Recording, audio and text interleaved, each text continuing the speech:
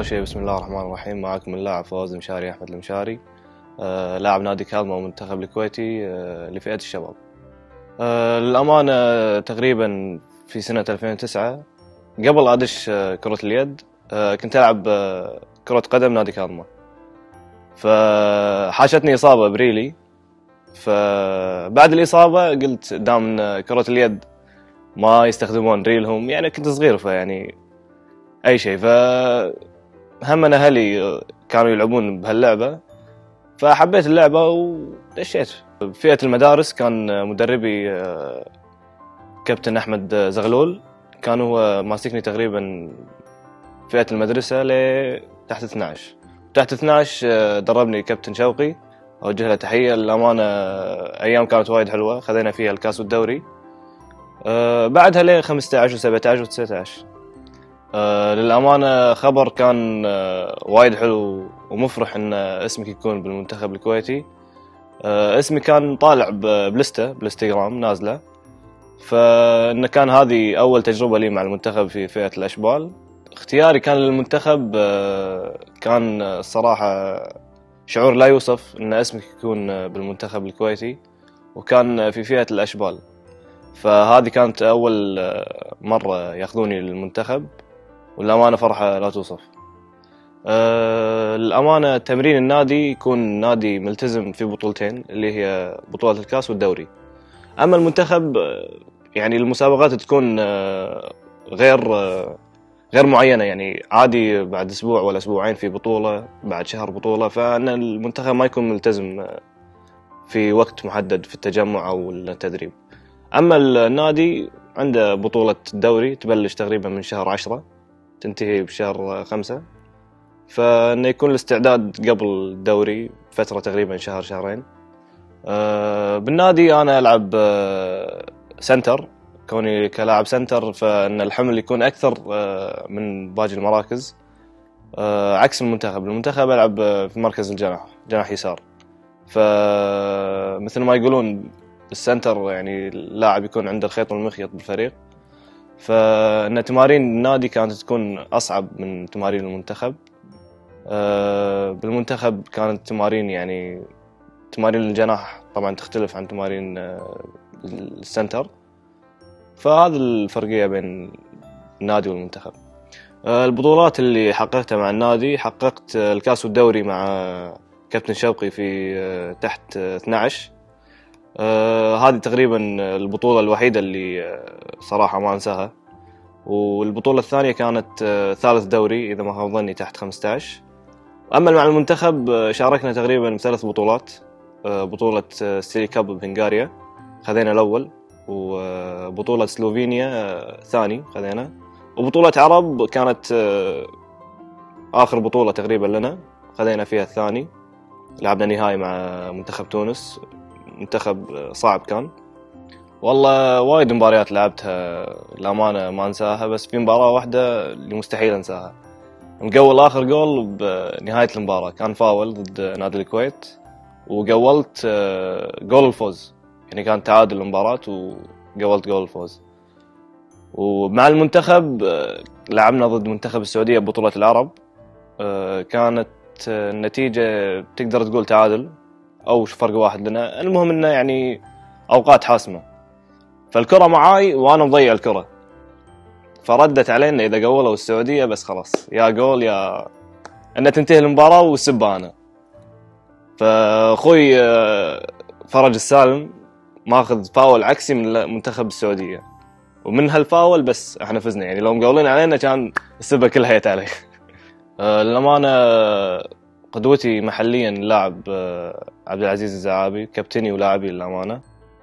آه، خارجيا اللاعب ديبروف لاعب آه، نادي فاردار والمنتخب الروسي. والله طموحي للأمانة طموحي كألعب في بطولات وايد بس للأمانة بطولات كأس العالم من أهم البطولات اللي ودي ألعبها. آه، بغض النظر عن البطولات الوايد بس آه، بطولات كأس العالم هي اللي ودي ألعبها للأمانة. آه، إحنا كلاعبين آه، كرة يد نحتاج آه، تجانس بين اللاعبين لأن التجانس ما يبي يوم يومين للأمانة يحتاج أشهر عشان تتفاهم مع الفريق يبي لك أشهر. فهذا النقص اللي يكون بالمنتخب يعني نحتاج تجمعات زيادة نحتاج آه، معسكرات خارجية على مستوى عالي طبعا آه، هذا اللي نستفيده يعني من المنتخب. فنحتاج هالشيء. آه، الأمانة اللي شجعني كان أهلي كان العامل الأساسي في رياضتي وأحب أوجه لهم تحية تنظيم الوقت بين الدراسة وال وال والكرة اليد بشكل عام يعني الرياضة بشكل عام. سهلة تقدر تفرق بين دراستك عن طريق آه، إنك تداوم الصبح وإن التمرين يكون عصر. هذا كونك أنت كطالب أو لاعب تقدر تفرق بين هالشيئين. بس آه، الرياضة هني بالكويت مو يعني مو نفس الرياضة برا فالدراسة ما تز... ما تغنيك عن الرياضة فتفرق بينهم يعني. أه والله أنصح آه، اللي ما يلعب رياضة بأن يوعي نفسه ويلعب رياضة لأن الرياضة صراحة روتين حلو حق ال... حق الإنسان يعني بحياته. أه... رياضة بالعكس تحافظ على صحتك فيها. كونك أنت كلاعب هم معارف راح تكون عندك زيادة وهذا الكافي يعني بالرياضة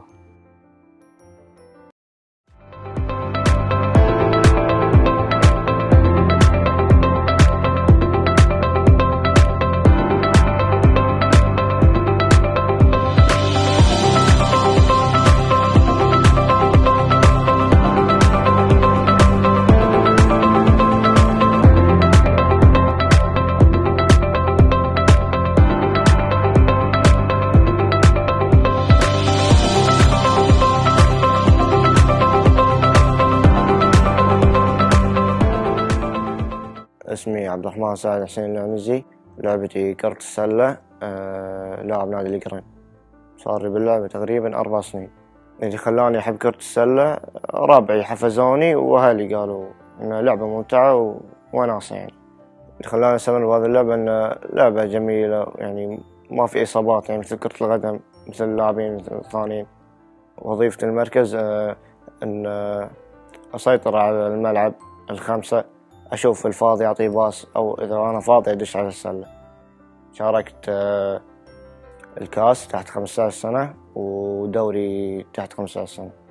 شاركت آه، في معسكر داخلي الفرق بين آه، المعسكر والنادي إن المعسكر تنظيم والأكل ونوم وتمرين عادي يعني تمرين عادي.